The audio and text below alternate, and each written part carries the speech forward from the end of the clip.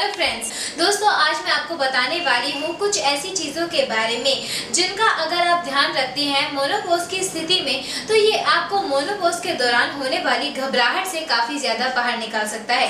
दोस्तों, मोनोपोज की स्थिति एक ऐसी स्थिति होती है, जिसके अंतर्गत हर स्त्री को या फिर कुछ स्त्रियों को, जो कि मोनोपोज से काफ़ी ज़्यादा ग्रसित हैं, उन्हें काफ़ी ज़्यादा घबराहट होती है। इस घबराहट से बचने के बहुत ही सरल उपाय हैं, जैसे कि अच्छा खाना खाइए। ऐसा खाना खाइए जिसकी वजह से आपके सीने में जलन ना हो।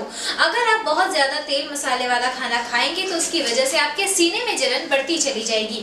इसीलिए ऐसा खाना खाइए, जो कि टेस्ट में लाइट हो और तंत्र के लिए भी काफ़ी अच्छा हो।